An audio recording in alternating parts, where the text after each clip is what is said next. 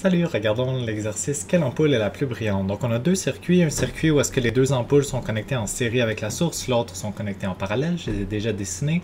Puis on dit que la résistance de l'ampoule 1 est plus grande que la résistance de l'ampoule 2.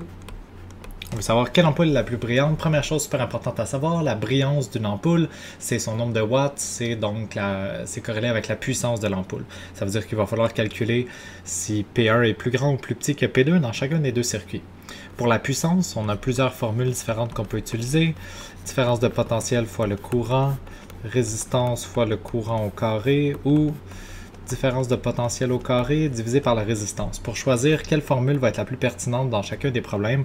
Par exemple, si je regarde le problème numéro 1, il faut commencer par se demander ça sera quoi la valeur qui va être la même pour les deux ampoules? Dans le circuit numéro 1, les deux ampoules sont en série, ça veut dire qu'il y a un seul courant électrique I qui passe dans l'entièreté du circuit, ça veut dire que I1, le courant qui passe par la source numéro 1, par la résistance numéro 1 va être égal au courant qui passe par la résistance numéro 2. Par contre, on ne peut pas dire que la différence de potentiel 1 est égale à la différence de potentiel 2. Dans le circuit en série comme ça, ce qu'on pourrait dire, c'est que delta V1 plus delta V2 est, est égal à la différence de potentiel de la source.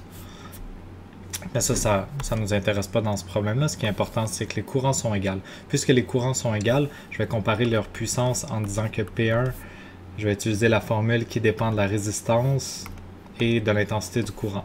Fait que c'est R1 fois l'intensité du courant à la 2. Le I, je ne mets pas d'indice parce que les deux résistances ont la même intensité du courant. Je n'ai pas besoin de mettre I1 et I2. Dans le cas de P2, c'est R2 fois I au carré. Donc, puisque c'est R1 qui est plus grand puis que R1 est au numérateur, ben, c'est l'ampoule numéro 1 qui va briller le plus dans un circuit en série. Dans le circuit en parallèle, ce qui change, c'est que cette fois-là, c'est la différence de potentiel 1 qui est égale à la différence de potentiel 2 en parallèle. Les courants électriques, je pourrais dire que la somme des deux courants électriques est égale au courant électrique qui passe par la source mais ça ne m'intéresse pas dans ce problème-là. Je veux comparer les différences. Ben, en fait, les différences de potentiel sont égales, puis c'est aussi égal à celle de la source. Donc, je vais utiliser la formule de puissance qui fait intervenir la différence de potentiel et la résistance. Fait que P1, c'est delta V1. Ben, je ne mettrai pas delta V1, je vais juste mettre delta V parce que les différences de potentiel sont égales pour les deux. Donc, delta V carré sur R1. P2, c'est delta V carré sur R2.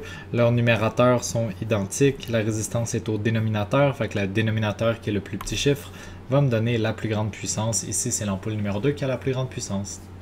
C'est tout pour cet exercice.